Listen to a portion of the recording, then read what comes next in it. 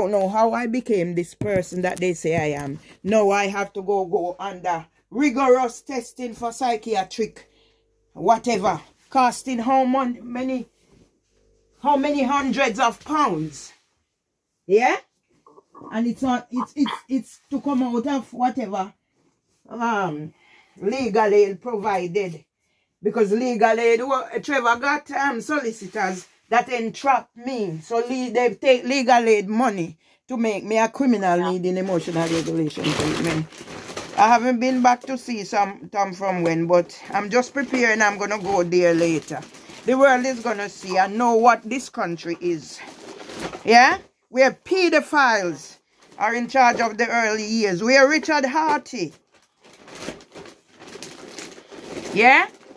Panic and call my phone. And that left me Barclays scammed me the same day.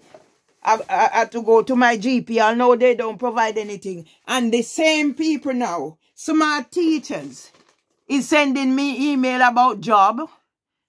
Yeah? Job I can't take up. Because I didn't get the training. Although I have the knowledge and whatever, I didn't get a piece of paper. And they made me a criminal needing emotional regulation treatment. Now a violent nuisance. Let us talk. Because it's only by talking I can get these things that's going around in my head. So when they're talking about whatever thoughts going in my head, let's get them out. So that's where I'm at Vashti. I finished the room, tidy up the room. Tom's the room for Tom to come back. Let me see. Yeah. What's this? This is dirty. So the room is tidy. Anytime they decide to bring him in, now he's welcome. So I'm going in the living room.